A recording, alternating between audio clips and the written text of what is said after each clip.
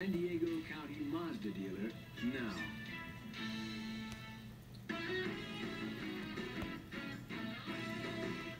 Tonight, the Hart File catches up with Tige Andrews of Mod Squad fame. He played the tough police captain on one of the most successful shows of the late 60s.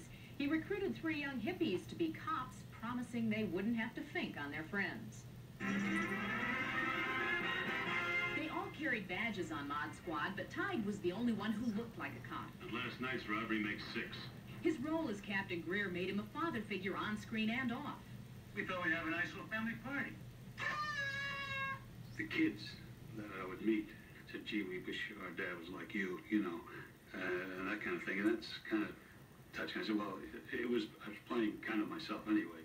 Get 360 degree views. Tige now spends most of his time developing this breathtaking piece of property he owns just outside of L.A. Uh, this used to be the old stagecoach trail that went through here, uh, Malibu stage.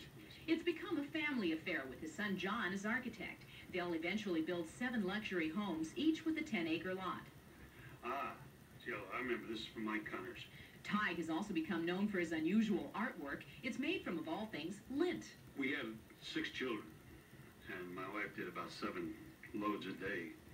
And when the lint came out of the uh, dryer, I'd see some gorgeous colors.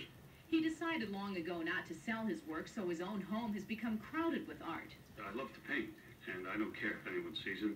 Tige and his wife raised their six kids, but they rarely got to watch their father on Mod Squad. He wanted them to have a normal upbringing, a normal life far from Hollywood. And all these years later, that's just what Tige has found for himself. It's a wild puppy.